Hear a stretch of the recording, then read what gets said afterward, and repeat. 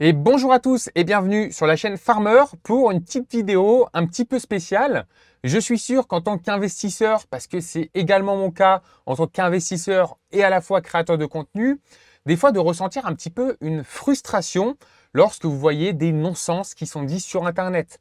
Par exemple, euh, un cas récent qui m'est arrivé, c'est quand je suis allé regarder si des créateurs de contenu euh, mettaient en avant des actions à fort dividende euh, européenne sur le PEA. Évidemment, c'est un non-sens euh, à cause de la fiscalité euh, qui en est liée. D'ailleurs, si vous ne la connaissez pas, je vous mets une petite vidéo juste là. Mais voilà, personnellement, quand je vois ce type de vidéo, voilà, chez moi, personnellement, ça crée une petite frustration parce que potentiellement, des investisseurs débutants peuvent tomber dans le piège. C'est à peu près la même chose pour certains créateurs de contenu qui, par dogme, n'utilisent pas euh, le PEA et vont loger des actions Air Liquide ou des actions euh, Total Energy en CTO, alors qu'ils pourraient euh, largement optimiser leur investissement et donc voilà potentiellement par un effet de cascade l'investissement de, leur communauté en logeant ces actions françaises sur PEA. Évidemment, cette frustration me pousse à toujours essayer de créer toujours plus de contenu, notamment du contenu de très haute qualité, bah, surtout sur euh, mon autre chaîne où à chaque fois tout ce que je dis va être sourcé par des calculs, des études académiques, etc. Mais aujourd'hui, sur la chaîne Farmer, j'avais envie de prendre une autre approche par rapport à tout ça. C'est tout simplement de remercier ces personnes qui font n'importe quoi euh, avec leur investissement, car au final, c'est un petit peu grâce à eux, et c'est ce qu'on va voir dans cette vidéo, c'est un petit peu grâce à ces personnes-là que les investisseurs avisés qui vont prendre des décisions beaucoup plus rationnelles, beaucoup plus optimisées, peuvent euh, investir dans de meilleures conditions. Peut-être ça vous paraît un petit peu abstrait, donc rentrons dans le cœur du sujet. Alors pour vous démontrer un petit peu ma thèse, on va prendre des exemples sur différentes thématiques. Premièrement, par rapport aux frais de gestion des ETF. Aujourd'hui, une décision avisée pourrait être par exemple d'investir sur un ETF global ou en tout cas un ETF qui représente une grosse partie de la capitalisation boursière mondiale. Par exemple, un ETF SP500, grosso modo, vous avez une exposition à 50% de la bourse mondiale. Aujourd'hui, vous avez des ETF disponibles en Europe qui ont des frais de gestion de 0,03%.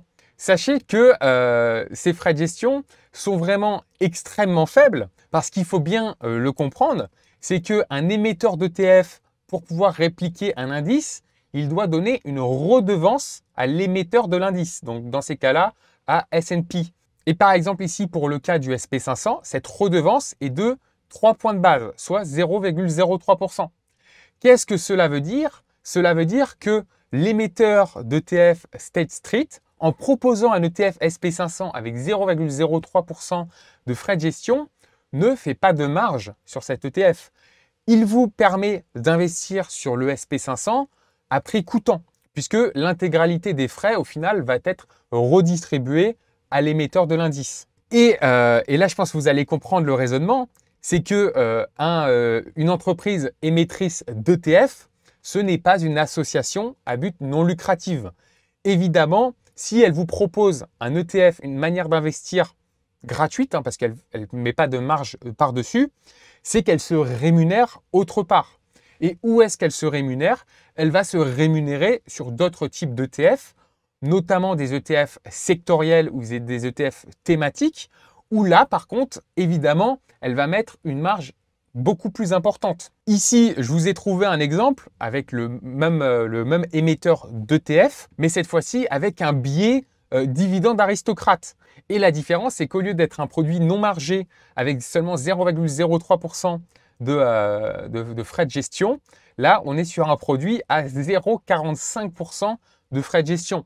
Pour un investisseur, sur le long terme, ça va être énorme. Mais ce qu'il faut bien comprendre, et c'est la conclusion de, cette slide, c'est que grâce aux investisseurs qui vont investir voilà, sur des ETF euh, dividendes aristocrates, qui d'ailleurs, hein, on peut zoomer ici, performent très mal. Hein. En bleu, c'est euh, le S&P Global Dividende Aristocrate qui, voilà, depuis 2013 euh, environ, a fait 91% dividendes réinvestis sans prendre en compte l'imposition d'un point de vue personnel, parce que évidemment, il va falloir payer des impôts tous les ans. Alors que euh, vous avez ici le TFSP 500, vous pouvez utiliser une version capitalisante qui a fait plus de trois fois et demi la performance. Et dans cette vidéo, justement, j'ai envie de remercier toutes les personnes qui investissent sur ce type d'ETF extrêmement chargé en frais, car ça permet d'avoir des ETF globaux comme ça à prix coûtant, où euh, l'émetteur d'ETF ne fait pas de marge dessus. Également, deuxième type de personnes qu'on a envie de remercier dans cette vidéo, ce sont les personnes qui ont un énorme biais dividende, euh, surtout en plus s'ils touchent les dividendes et que ce ne sont pas des dividendes réinvestis à l'intérieur soit d'une enveloppe capitalisante type PEA, soit euh, d'un wrapper capitalisant type ETF capitalisant.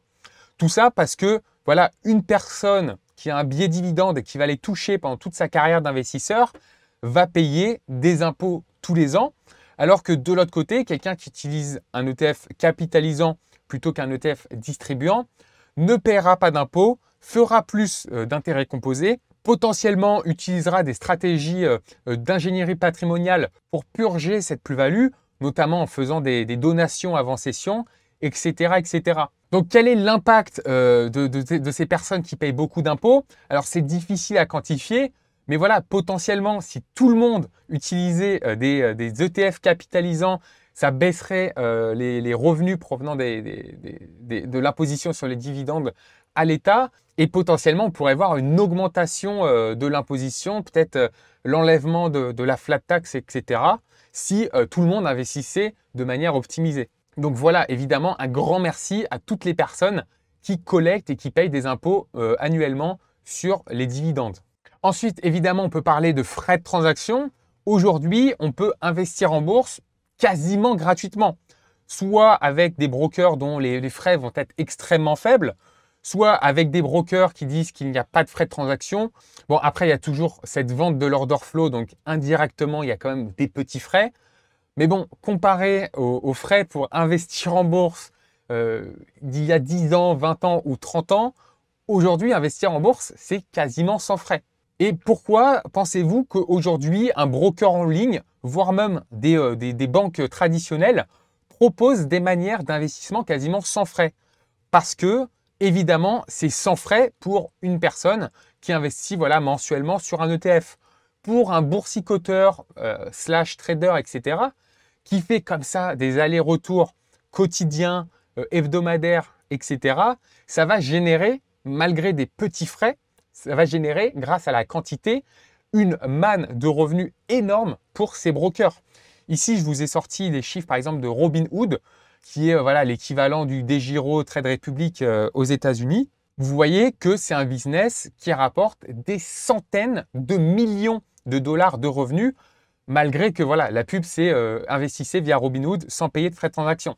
Vous pouvez évidemment répliquer ça sur les brokers européens qui disent qu'il n'y a pas de frais de transaction.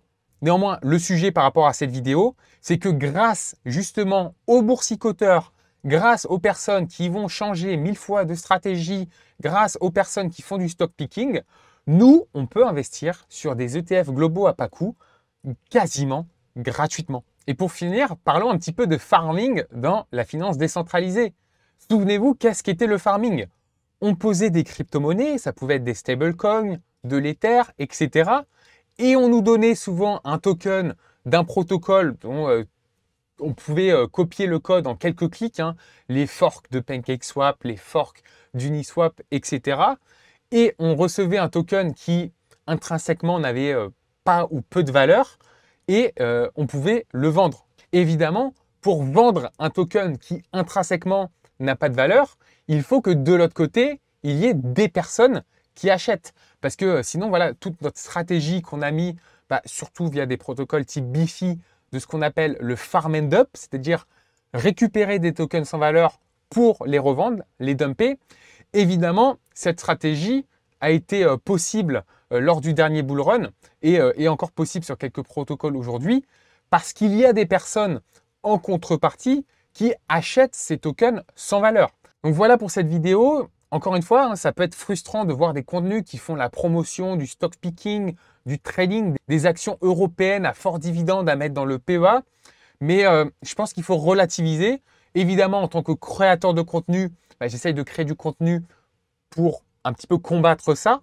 Et euh, voilà, je vous invite vraiment à regarder ma chaîne L'investisseur avisé. C'est là où je mets la majorité de mes efforts.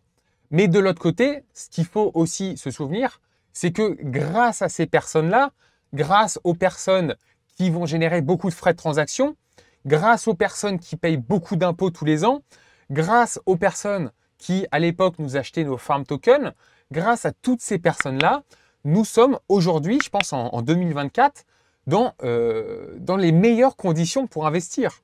On peut investir sur la bourse mondiale pour quasiment aucun frais de gestion annuel, pour quasiment aucun frais de transaction. C'est euh, une révolution. Voilà, il y a 10 ans, ce n'était pas possible et euh, il y a 20 ans, encore moins. En tout cas, j'espère que cette vidéo vous a plu. On se retrouve très bientôt pour une prochaine. C'était Farmer. Ciao